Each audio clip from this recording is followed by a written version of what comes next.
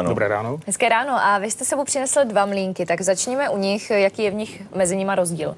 Eh, Tak eh, v první řadě bych chtěl říct, eh, že jsou to plastové mlínky. V dnešní době vlastně plast dokáže spolehlivě nahradit tradiční materiály, jako jsou um, odlévaná litina nebo například hliník. Má to celou řadu výhod, snadněji se to udržuje a tak dále.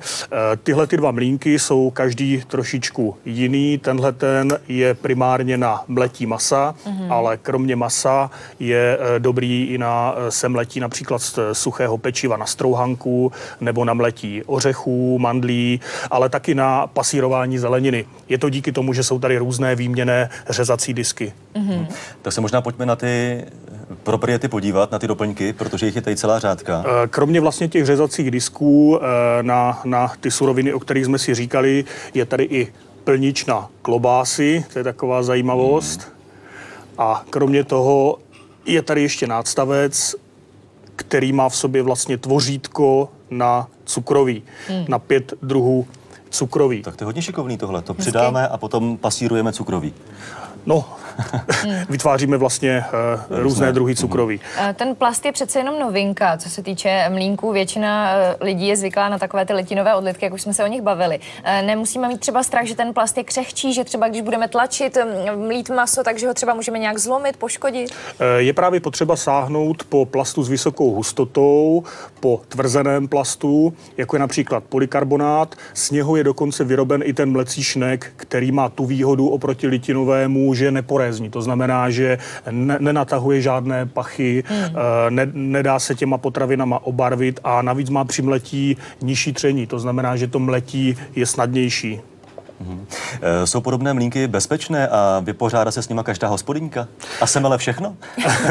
Eh, No právě výhodou těchto klasických koncepcí mlínků je to, že oproti kuchyňským robotům, které jsou velké, neskladné, s, eh, komplikovaně se obsluhují, je relativně jednoduchá obsluha.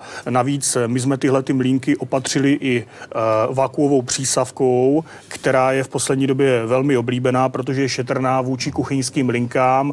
Jednoduše se obsluhuje pouze otočením páčky a dá se vlastně přisát na kuchyňskou linku, což je vlastně šetrnější eh, oproti tomu klasickému šroubovému mechanismu. Na porézní povrchy, jako je například dřevo nebo umělý kámen, jsme dokonce vyvinuli takovou super přilnavou podložku, na kterou můžeme vlastně uchytit mlínky tou vákovou přísavkou mm-hmm. i na povrchy, eh, které nejsou dokonale rovné, hladké, odmaštěné, eh, nebo například na dřevo. Vlastně jenom se to takhle položí pod ten mlínek a jednoduše přisaje. A drží. My to zkoušeli faktem, že jsme málem urvali ten stůl, že opravdu je to teda pevný.